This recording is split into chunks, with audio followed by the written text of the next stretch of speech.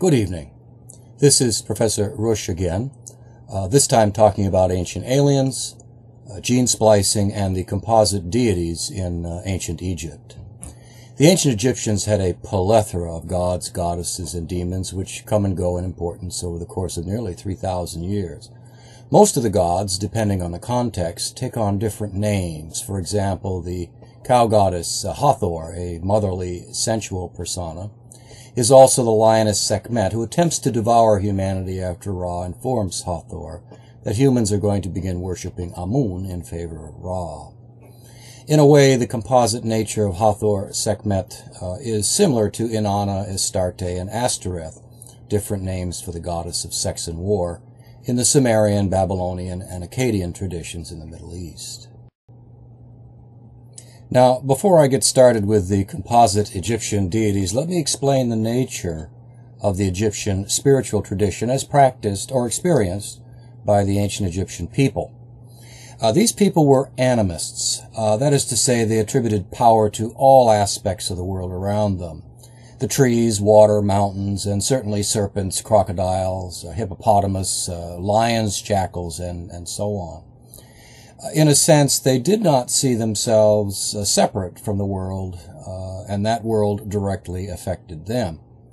They invented magical practices, just as did the Catholic Church and other fascist political traditions that pass as uh, religion today, as a means of controlling people and certainly controlling the powers of nature to maintain life and ability to produce life, as well as safe passage uh, through the underworld.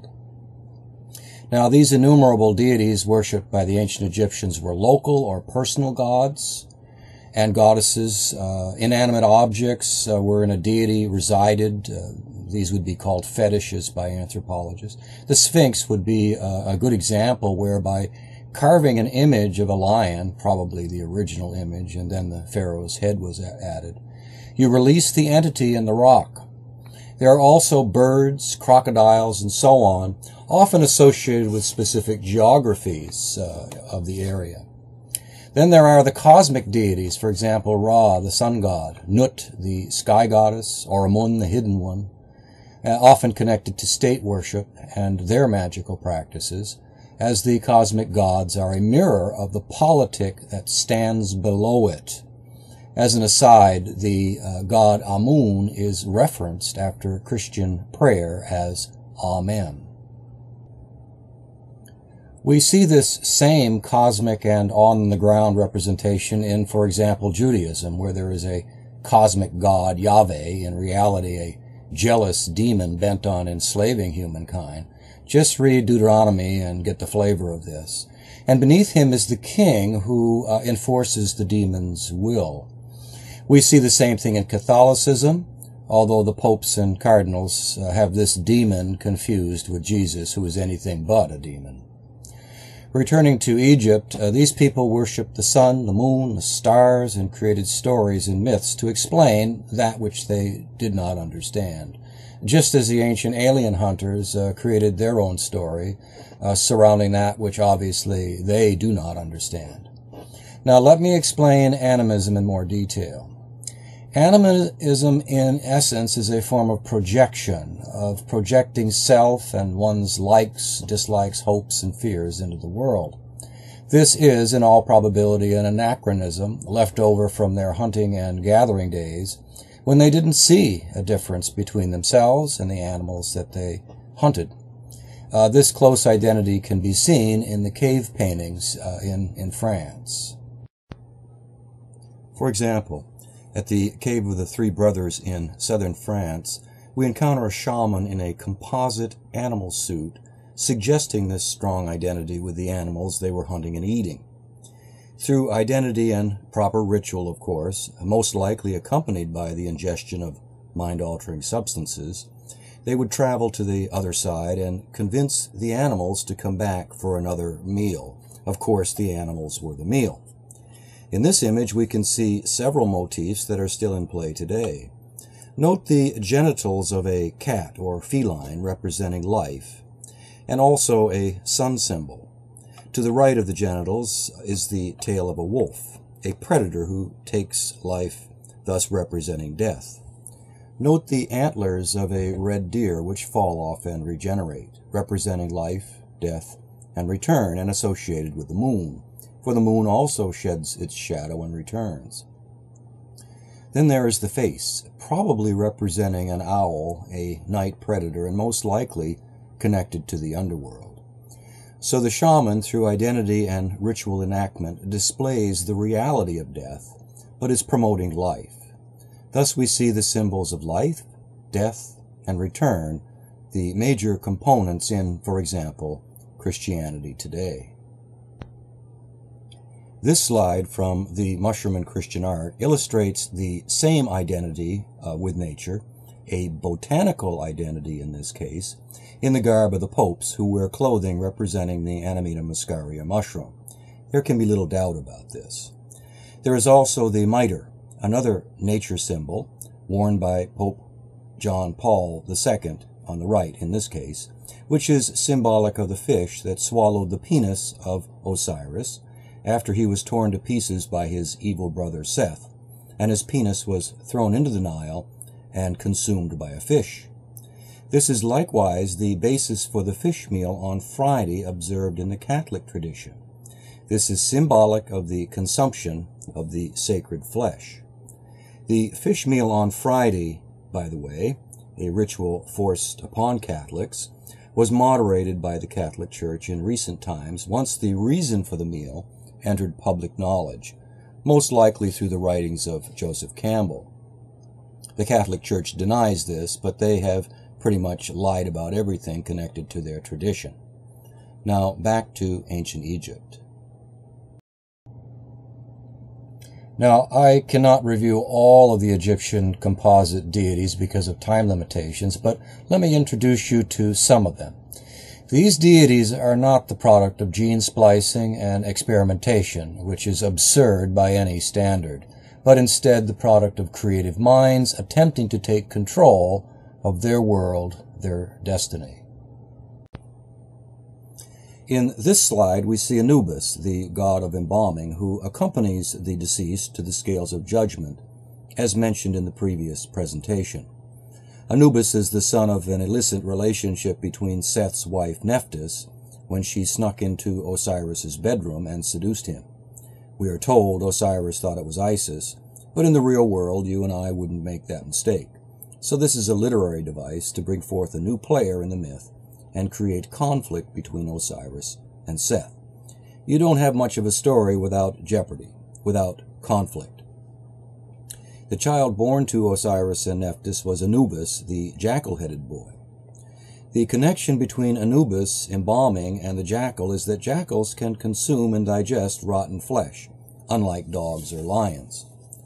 Consuming the dead, in a sense, is a form of embalming, as the flesh becomes the life force of the individual who consumes it. Said another way, it resurrects in the one who consumes it. So, remember the next time you eat a steak, that you are helping the animal to resurrect. According to the ancient alien hunters, Anubis represents gene splicing between humans and jackals, and therefore uh, these must represent real images of composite beings, again a confusion of the symbol with its reference. This slide is from the Book of the Dead of a noblewoman whose name translates into the moon is her strength and is from the 26th dynasty or somewhere around 600 BCE. The Book of the Dead, by the way, is not a black book with lock and hinges as portrayed in the Mummy movie with Brendan Fraser and Rachel Weisz. It is a papyrus scroll, and there are many of these still in existence. Uh, refer to the 12 gates uh, to understand the difference between the pyramid text, the coffin text, and the Book of the Dead. Here we see Osiris, the judge of the dead in the underworld, in front of whom are offerings. Next is Amut, the composite monster, who will eat your heart if it weighs more than the feather. Have you ever heard the expression, eat your heart out? Well, that's where this comes from. Next is Thoth, the ibis-headed god of knowledge, writing, and also a messenger of the gods. Thoth was an important deity in the Old Kingdom and mentioned frequently in the pyramid text where Ra, the sun god, is said to travel on the wings of Thoth as he traverses the heaven during the day in his sun bark bringing light to the world. Thoth also protects and serves Osiris, the judge of the dead in the underworld. Thoth was said in one of the mythic renderings to have healed the eye of Horus, which, during the contendings of Seth and Horus, Seth, after turning himself into a pig or boar, tore out Horus's eye. Seth lost a testicle in the battle. The Egyptian gods called the pig an abomination after this event, which led to the Jews uh, to abstain from eating pig meat when they assembled their composite mythology as presented in the Old Testament. Now, if you think the Old Testament is a factual representation of the history of the Jews, you are as gullible as those who believe the ancient alien story. Another manifestation of Thoth is the baboon, seen on the far right, who represents primal knowledge, for even the baboon, a terrestrial monkey, praises the sun god Ra as he emerges from the eastern horizon each morning. In this next slide on the far right is Horus, the hawk-headed god. In the Osiris round, Horus is the son of Isis and Osiris. Isis was impregnated by the dead Osiris after he was murdered by his evil brother Seth.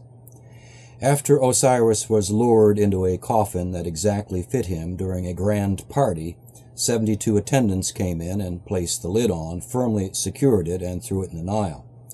Osiris drowned, but the coffin drifted to the Mediterranean and finally was beached uh, in Lebanon, where the roots of a Lebanese cedar tree surrounded his coffin.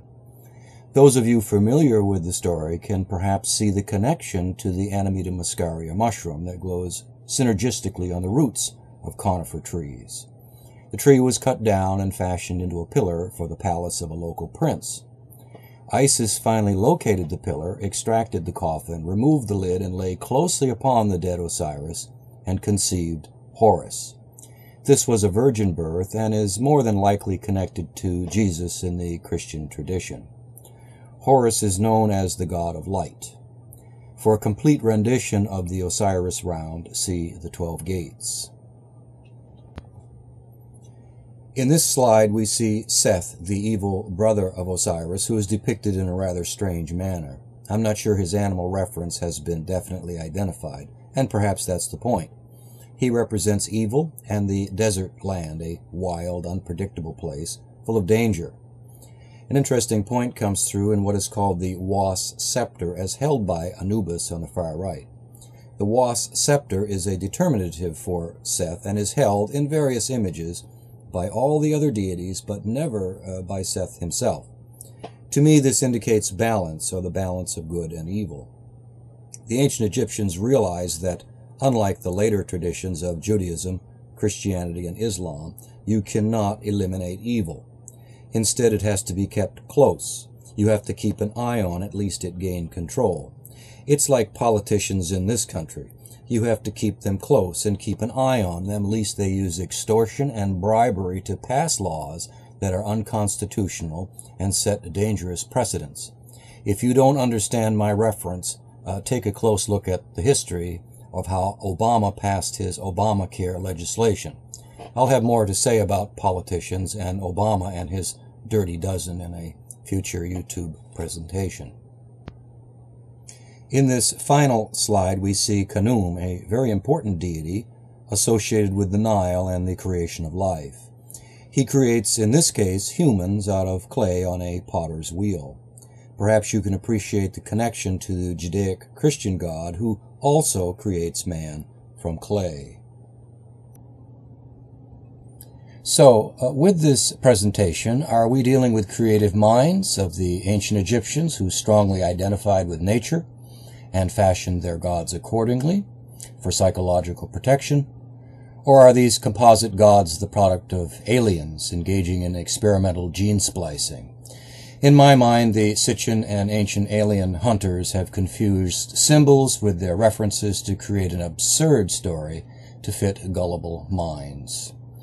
Now, in the next presentation, I will discuss the psychology of gullibility and why people believe in such absurd positions as ancient aliens and much of the nonsense and half-truths presented by academics, the mass media, and certainly politicians in this country.